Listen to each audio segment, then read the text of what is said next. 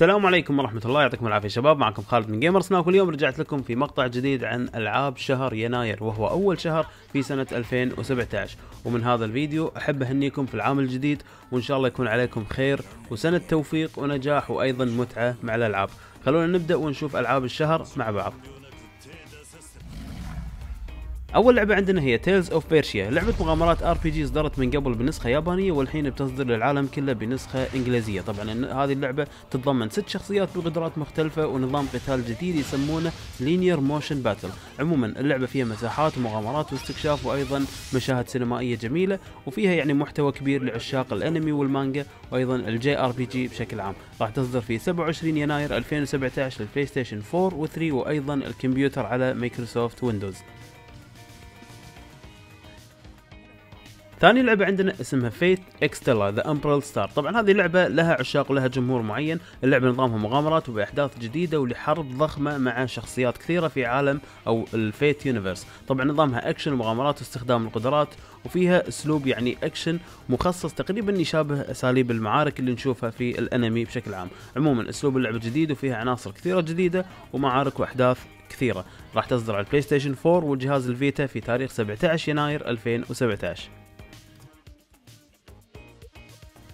ثالث لعبة هي Gravity Rush 2 طبعا بعد نجاح الجزء الأول وعجب ناس كثيرين. قررت الشركة أن تصدر الجزء الثاني اللي راح يكون فيه مغامرة جديدة بأسلوب غريب صراحة في التحكم أو اللي هو ضد الجاذبية يسمونه. طبعا فيها قصة جديدة ومهمات أكثر وأيضا عالم مفتوح أكبر وإضافات جديدة مثل أسلوب القتال وتبديل أنظمة القتال لثلاث أنواع مختلفة. وأيضا مثل ما طلب الجمهور يبون آه، شخصية Raven راح تكون playable في هذا الجزء. طبعا art اللعبة جميل وشكلها حلو بشكل عام الرسومات مثل ما تشوفون شيء مميز ومختلف عن باقي الألعاب. راح تصدر في 20 يناير 2017 حصريا لل PlayStation 4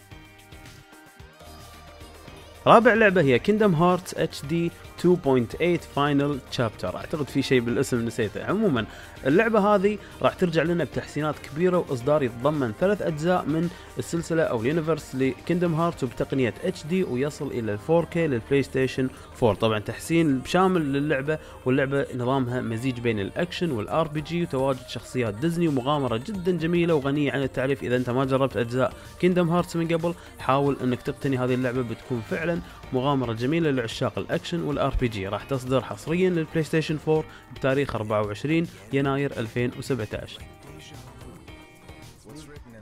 خامس لعبة وهي الأهم في هذا الشهر واحدة من أهم ألعاب السنة Resident Evil Biohazard 7 السلسلة الأسطورية ترجع لنا بمنظور جديد كليا ومركزة على عنصر الرعب بالدرجة الأولى مثل ما طلب الجمهور. لكن للأسف أنه تغير نظام اللعبة للمنظور الأول أو ال first person في ناس ما يحبون هذا الشيء. عموما خلونا من هذا كله المطورين قالوا أن هذه بتكون أفضل أو واحدة من أفضل سلسلة يعني أجزاء Resident Evil والمنظور الأول للعبة هو اللي يخليك تعيش الرعب الحقيقي وأنت تكون أقرب للحدث عموما اللعبة راح يكون فيها أحداث جديدة عن شخص فقد زوجته والظروف يعني جابته لهذا المكان يقولون إن زوجتك راح تكون في هذا الكوخ وتبدأ من هنا المغامرة. طبعا مسكون الكوخ من عائلة غريبة ومجانين شفتوهم في الدم وشفتوا أشياء كثيرة. اللعبة يعتمد نظامها على الصراع على البقاء والرعب بشكل رئيسي وأيضا الألغاز. بشكل عام من تجربة الدمو؟ اللعبة تبشر بخير بس ينقص إن نشوف نظام القصة بشكل عام ومحتوى اللعبة لما تصدر. عموما اللعبة راح تصدر لجميع الأجهزة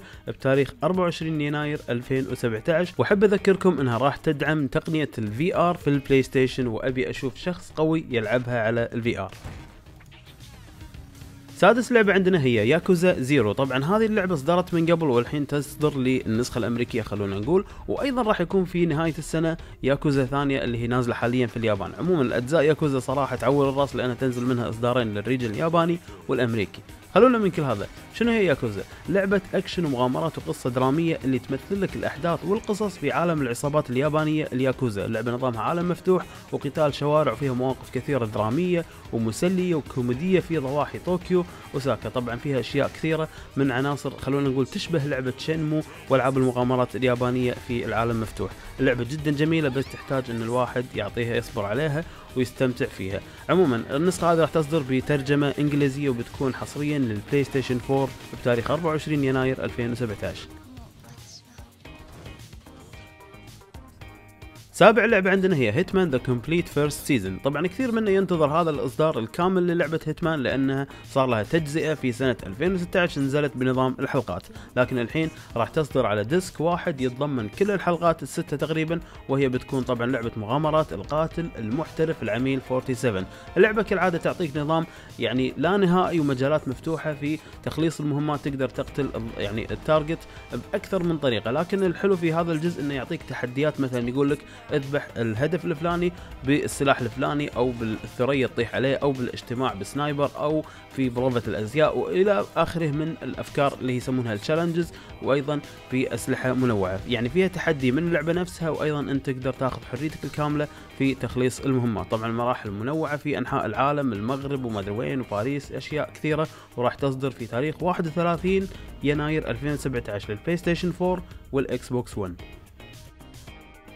تقريبا كانت هذه أهم ألعاب شهر يناير في 2017 طبعا في عناوين صغيرة قاعدين تشوفونها حاليا على الشاشة لكن غطيت لكم أهم الألعاب. وطبعا عن نفسي راح أحاول إني أغطي مراجعات لهذه الألعاب كثر ما أقدر في القناة فضروري إنك تكون مشترك وتشغل خاصية التنبيهات علشان تشوف كل المقاطع اللي راح تنزل.